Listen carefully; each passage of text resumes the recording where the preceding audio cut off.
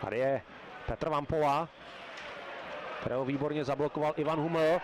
No a tohle už eh, David Štích přehnal. Naprosto zbytečný atak na Ivana Humla po odehrání kotouče.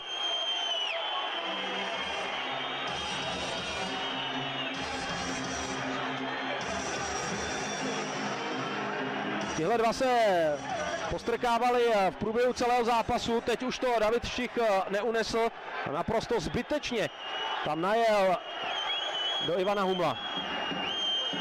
Ivan Huml tam dostal už ránu od Petra Vampoly.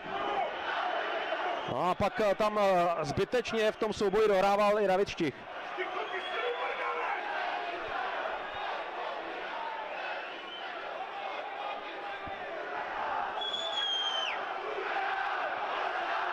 No, David Štich ještě čeká, co na to rozhočí. Už tam svítí pět minut pro číslo 77 pro Davida Šticha.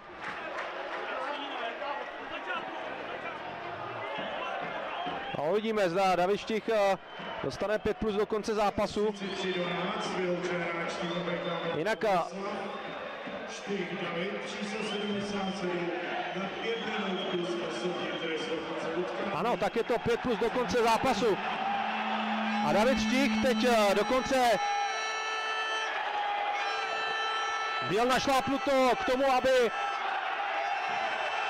napadl rozhodčího, teď ještě rozmátil hokejku obránku. No tak eh, tohle už je skutečně za hranou.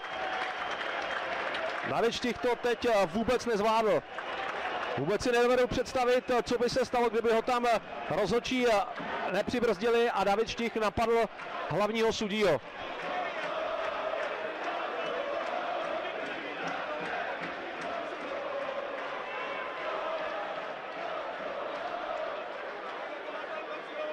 Tak tohle bylo skutečně za hranou.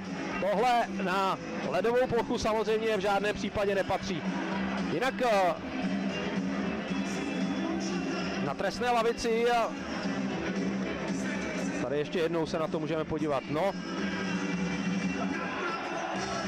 David Čich měl skutečně našlápnuto k tomu, aby insultoval hlavního sudího. Tohle samozřejmě bude mít eh, dohru u disciplinární komise. Samozřejmě pokud Mladá Boleslav dnes skončí, tak